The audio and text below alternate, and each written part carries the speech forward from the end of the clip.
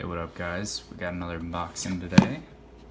This is a uh, Chris Reeves Sebenza. Really excited for this one. Um, really miss my Sebenza, so this is like my ideal spec, uh, just with a different blade shape.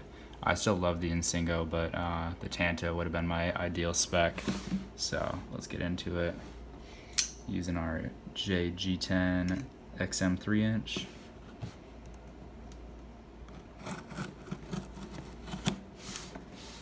Not sure if I'm even in frame here.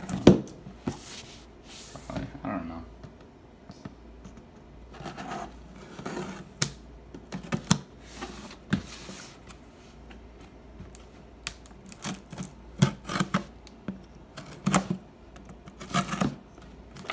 Should be good, right?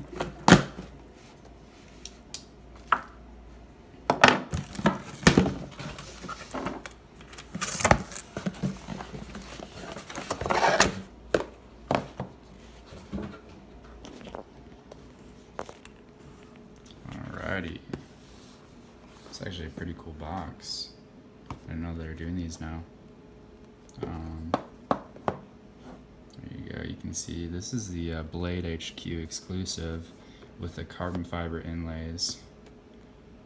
Really cool blade here. So let's go ahead and open this up. See if I can do this one-handed.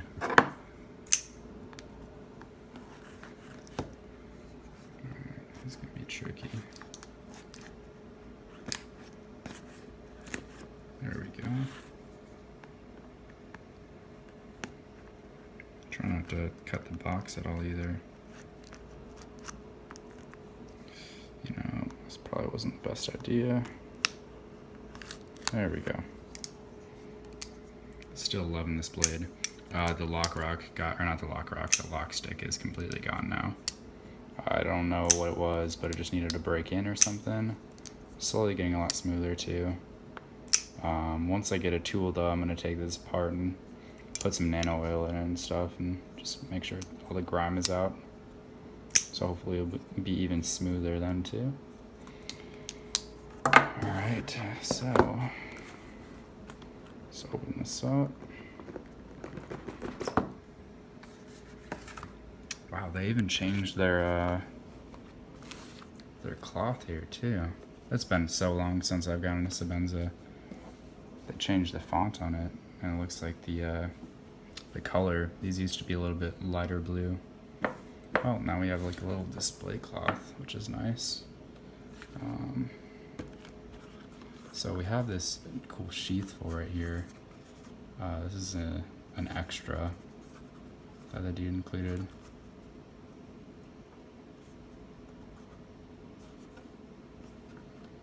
Alright, now we have the knife. Oh, geez. Yeah, I'm definitely uh, taking this thing off. I asked him to take it off before, but appears as if he forgot to, which is no worries. But this carbon fiber inlay is just beautiful. A little bit of wear on the pocket clip, which not a big deal. I'm gonna take off my ring so I don't scratch up the the blade at all, or the uh, scales. There's the centering. It's got a little hair in there. Hold on.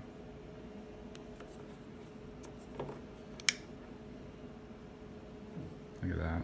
And single carbon fiber. It's pretty awesome. Let's go check and see what else is in the box here.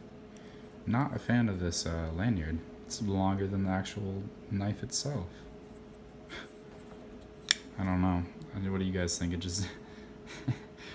yeah, I don't know. This is not it. Uh, lanyard is not... Uh, yeah.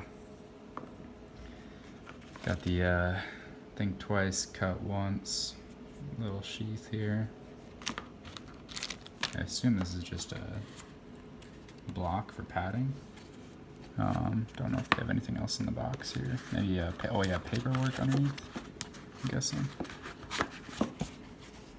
Yeah.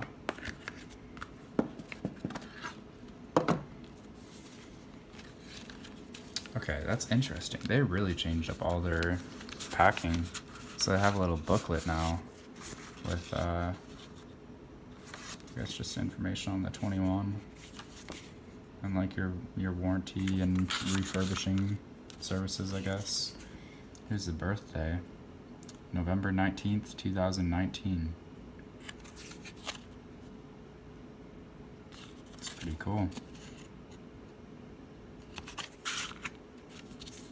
Don't know what this is. Registration, and then it looks like you get a little sticker here too. That's actually pretty cool. And then looks like the, uh, the history of the Sebenza. Or Chris if not sure. Um, does it continue? No. Alright, let's get some more shots of the knife here. Put this to the side. It's actually pretty cool. I'm not a huge fan of how they did this box because, I mean, it is really cool for presentation, but um, it won't ship in like a small flat rate, which kind of sucks. I don't think the Hinder boxes do either. Um, so it's unfortunate, but you have your Reeve tool, grease, and looks like the original uh, paracord for the lanyard. And I'm not sure what that is.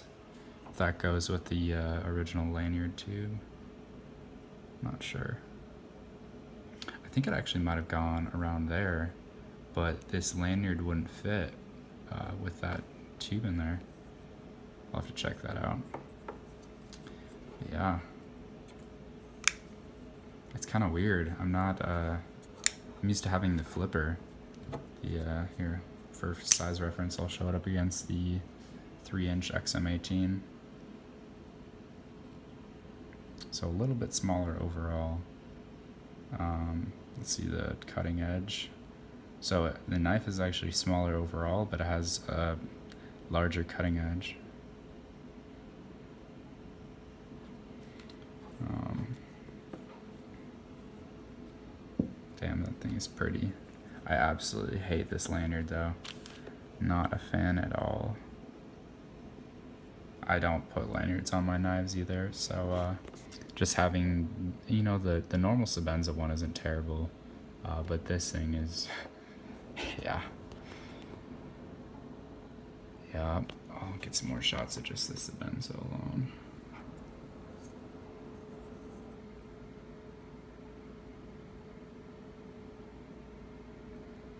I love the stonewash finish they put on these blades too. It's not like a super aggressive stonewash, but it's just enough. It's almost like a a bead. They bead blast it and then like stonewash it or something. Not sure. Then you got your sand or uh, satin flats. And you have the sandblasted frame here and edges.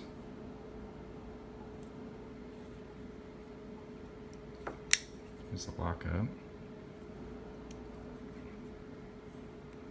Action's pretty hydraulic. You know, it's not like a a drop shut action, um, but it's very smooth.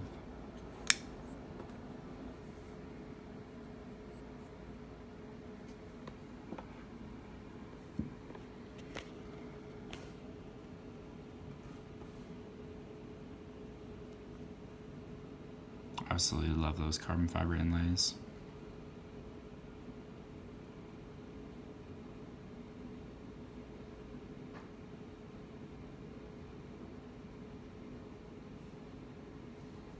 Love the contrast with the blue lug too and just overall carbon fiber satin finish. See how easy it is for left hand opening. Oh, actually this is not even going to be possible because it's not the double lug.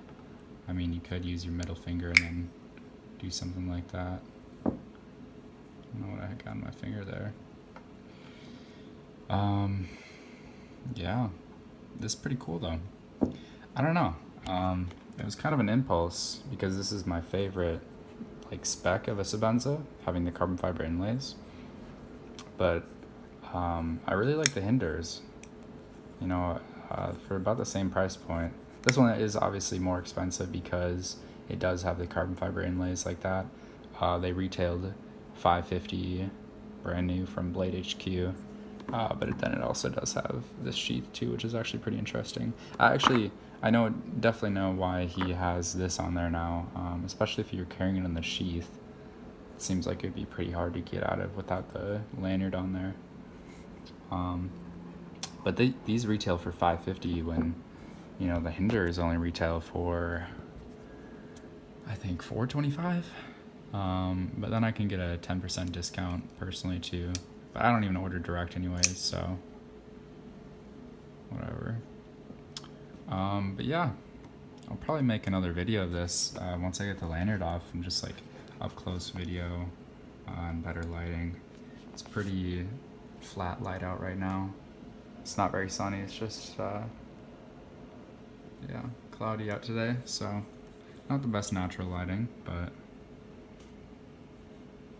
this thing is absolutely beautiful. There you go, guys. Hope you enjoyed. We'll be making some more videos here in the near future. I actually, I just bought uh, two more blades, so those are going to be coming in here, I think Thursday, and then maybe both on Thursday. So I'll probably make two separate videos for that. But, yep. Alright, see you later, guys.